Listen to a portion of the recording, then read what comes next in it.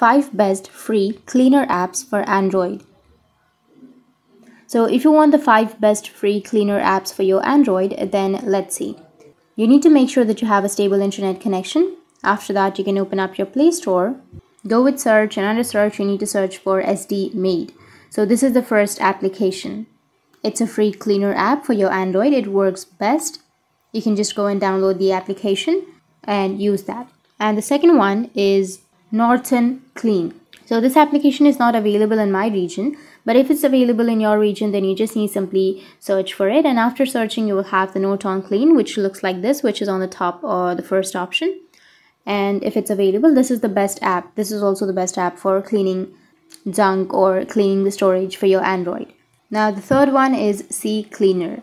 So you can also install this application. You will have the install button. You can just simply tap on install and it will deep clean your storage. It will delete your junk. It will compress your photos. You will have one tap cleaning. You can review your apps. You can back up your videos and everything.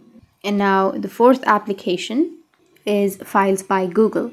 So I also use this application. It's also the best free cleaner apps for your Android.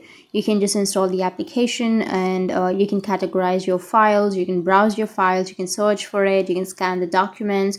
You'll also have the cloud backup. You can clean up your phone. You can clean your junk files. You can clean your duplicate. So this is also the best application. The last one is Droid Optimizer. So the Droid Optimizer app looks like this uh, this is not available in my region or in my country but if it's available in your region then you can just simply go with the Droid Optimizer which is also the best free cleaner app for your Android. So that's it. These were the five apps and if you have any questions feel free to comment below. Thanks for watching.